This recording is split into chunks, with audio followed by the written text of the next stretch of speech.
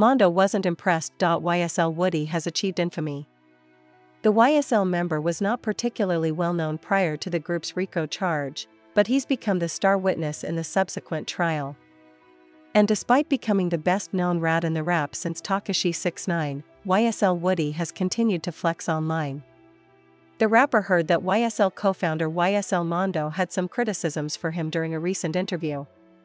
In response, he took to Instagram Live and proved he was very much outside. It didn't convince his YSL peer. I be outside like the mother asterisk kin son, YSL Woody tells his viewers. He proceeds to hop in a car and show off a duffel bag full of cash. Y'all know how I'm coming, he continues. Pull up and get it. YSL Woody then makes direct reference to the YSL Mondo interview. Y'all and asterisk asterisk gas stop playing, he stated. Keep me out these interviews.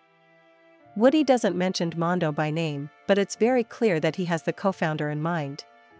So clear, in fact that Mondo responded to the Woody Flex video with an IG live of his OWN.to put it simply, YSL Mondo was no impressed. You ain't nowhere but in your surrounding area, he calmly stated. Ain't nowhere where I'm at. You just got the internet, boogie woogie a asterisk s, folks who ain't from Atlanta type sh asterisk t from around the way.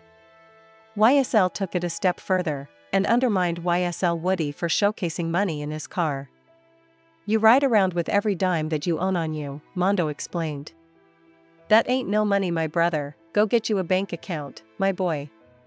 YSL Woody's attempts to flex were further undone by Mondo's observations. The YSL co founder said people in the know don't respect Woody, regardless of how much cash he throws around. Real N asterisk asterisk gas ain't respecting that boogie woogie a asterisk ssh asterisk t, he asserted. Don't let these small town street punks on the internet juice you up and make you think you a real N asterisk asterisk ga. You can never be no more.